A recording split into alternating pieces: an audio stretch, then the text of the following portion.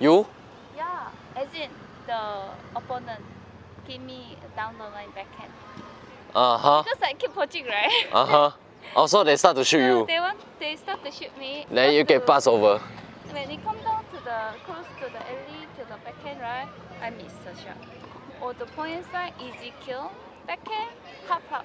Actually, it's the same drill. How you go there, exactly how you go to the line. For volley, it just when the ball bounce, then you need to run the first step out already.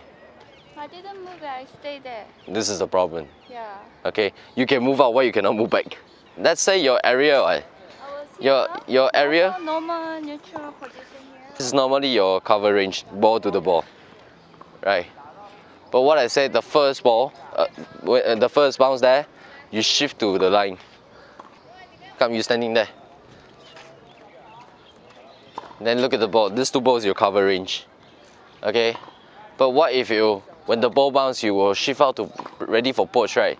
So you can see you shift to the line, then you'll become your cover range from here to here. Okay? So become here. Then the side you just leave it already. So same thing. If you come here, you shift to the line here, right? Your cover range will become here all the way to here. Okay? So three position, right? Your cover range is the same. Just that you ready here or ready here or ready here. So when the ball bounce, you need to decide that I want to ready away. Okay, if I de- decide do nothing, when the ball bounce, I just stay here. But useless one. I didn't move. I stay there.